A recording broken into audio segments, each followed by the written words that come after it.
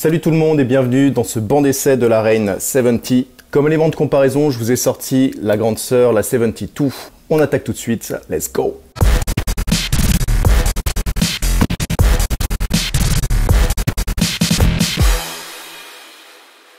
On peut déjà constater que les dimensions sont exactement les mêmes que la 72 et au niveau du poids, je pense que c'est à peu près la même chose. Bon, je les ai pas pesés, mais ça a l'air d'être assez similaire. Sur l'interface arrière de la 70, on s'aperçoit que c'est exactement la même que la 72. Une alimentation en prise Europa, trois sorties, master main out en XLR, une sortie boost en jack, session in et out en RCA, les entrées des sources en RCA également, deux entrées micro en XLR ou jack que l'on peut switcher en line, deux USB pour connecter les Rain 12 ou autres contrôleurs, deux ports USB pour deux ordinateurs, ce qui est assez pratique pour du B2B ou des changements de DJ.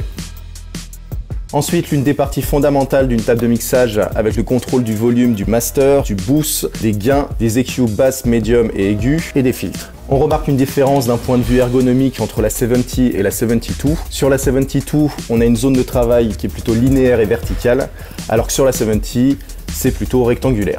Donc vigilance sur le placement de certains boutons, notamment les filtres et les gains qui ont changé de place le contrôle de volume de la session IN pour une source supplémentaire qui se connecte en RCA derrière est passé sur le côté droit de la table. Un peu plus bas, on a le bouton de sélection pour la pré-écoute au casque de la session in. Et entre les deux, le bouton du contrôle de volume de la session out, qui est la sortie RCA de la table de mixage. On switch côté mic avec la gestion du volume du micro 1, une petite écho basse et aiguë. On peut rajouter un écho et l'enclencheur on-off du microphone. La partie navigation du Serato se retrouve aux extrémités de la table de mix, en haut à droite et en haut à gauche, avec les boutons Scroll Load qui ont exactement la même fonction qu'auparavant. Naviguer dans vos playlists, dans vos Create, et on appuie dessus pour sélectionner le morceau sur la platine droite ou sur la platine gauche. Un petit bouton back pour revenir en arrière dans vos dossiers Create et un nouveau bouton Load Prepare qui place les morceaux sélectionnés dans la partie Prepare de votre Serato. Une parenthèse sur l'écran tactile de la 72 qui n'existe plus sur la 70. Personnellement, il y a des paramètres que j'ai jamais exploités, notamment le filtre tactile. Par contre, je trouvais ça vraiment cool le fait de pouvoir visualiser les waveforms des morceaux loadés sur les platines et la navigation dans ces playlists directement sur la table de mixage. C'est un aspect esthétique d'un point de vue extérieur. Je préfère voir un artiste concentré sur l'instrument qu'il a en face de lui plutôt qu'un ordinateur euh, à côté le petit écran sur la 70 qui va nous servir de repère visuel sur la gestion des différents paramètres des effets, partie FX avec plusieurs changements, notamment une meilleure accessibilité avec les boutons raccourcis des effets internes à la table de mixage, Echo, Reverb, Break, Flanger, Phaser et Delay. Un petit bouton au milieu pour switcher sur les effets du Serato qui se paramètrent dans l'interface FX du logiciel. On retrouve les commutateurs d'envoi d'effets soit en insert ou verrouillés, indépendamment pour chaque tranche. Les boutons de contrôle de la profondeur de l'effet. Au-dessus, un joystick pour la durée de l'effet, vous pouvez choisir à la noire, à la croche, etc. jusqu'au 32e de temps et à côté un bouton de paramètres des effets. Pour ma part, je trouve l'ergonomie de cette partie FX beaucoup plus claire, ludique et accessible que sur la 72. Une nouvelle partie sur le contrôle des boucles, raccourci accessible qui manquait sur la 72, avec l'enclencheur rapide des boucles si votre tempo est déjà inséré dans le Serato. On rappuie dessus pour sortir de la boucle. Les boutons pour la durée des boucles, plus lente ou plus rapide. Deuxième paramètre de cette fonction en appuyant sur Shift et l'enclencheur pour rappeler la dernière boucle enregistrée sur le morceau. Ainsi que Shift et les boutons de durée afin de créer un point d'entrée et de fin pour créer vos boucles à la volée.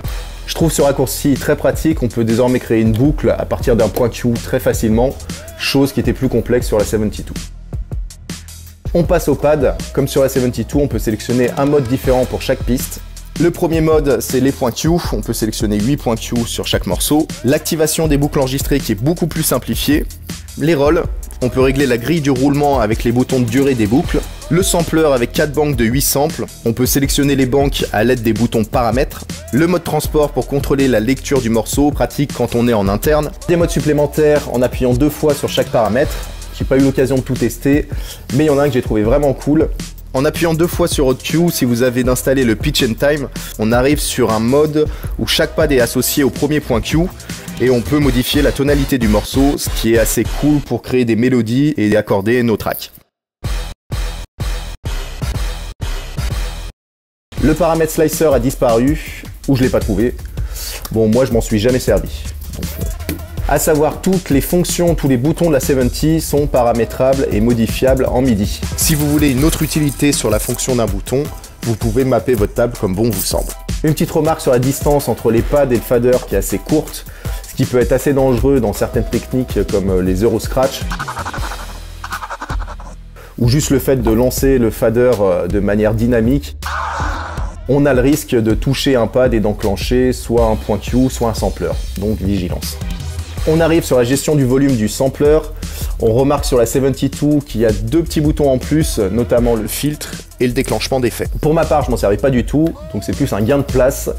Après, je comprends les DJ qui utilisent le sampler comme troisième platine et de plus avoir la gestion du filtre ou d'envoyer des effets sur cette piste, ça peut être réducteur dans leur travail. Les nouveaux raccourcis Instant Double qui ont exactement le même emplacement que la pré-écoute sur la 72. Alors la fonction est intéressante, mais si vous êtes habitué comme moi à la 72, va falloir prendre de nouveaux réflexes afin de ne pas appuyer sur le bouton Instant Double pour préécouter votre piste. D'autant plus que cette fonction existe toujours en double cliquant sur les boutons Load. Ça peut être euh, l'occasion de mapper ces deux boutons et d'en faire une autre utilité.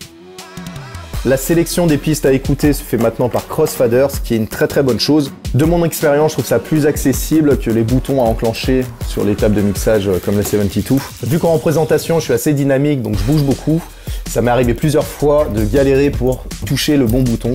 Donc je tapais tout autour, mais sauf au. Comme ça là. L'emplacement des boutons Q level et Q mix ont été inversés par rapport à la 70, avancés dans l'autre sens. Bon, de main à prendre. Une petite parenthèse sur le design des boutons rotatifs du sampler level Q-Mix et Q-Level qui sont beaucoup plus fins.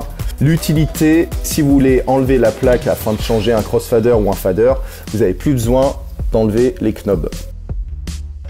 Pour répondre à la question tant attendue, oui, ils ont changé de crossfader sur la 70. On passe à une nouvelle génération, le Mac 4.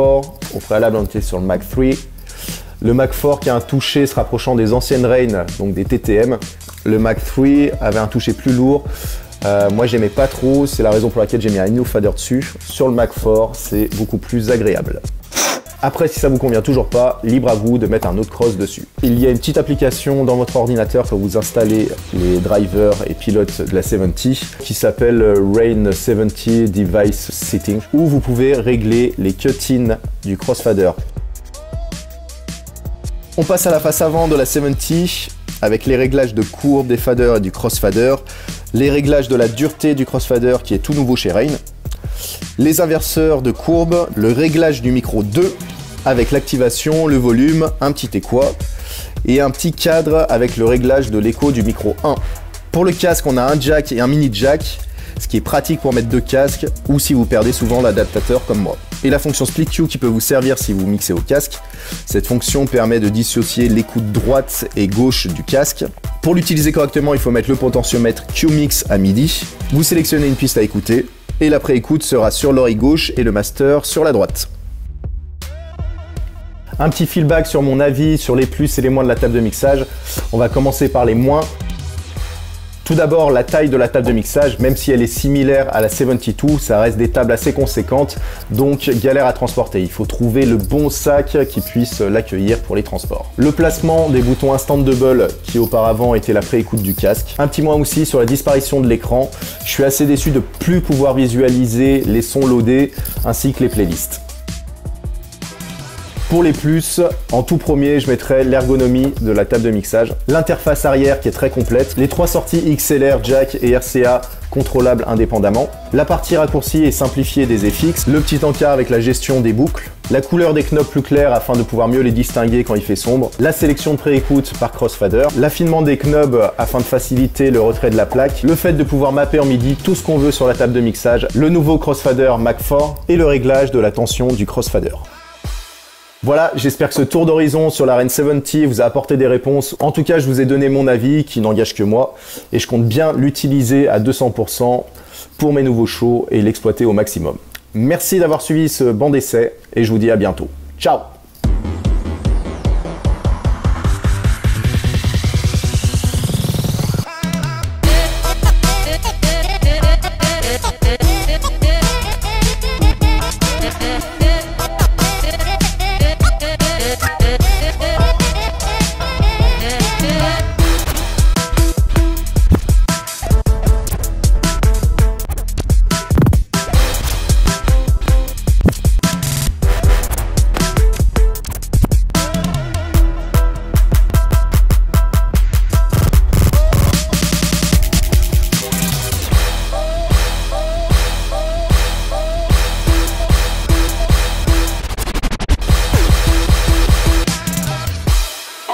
shit like this. Break it down.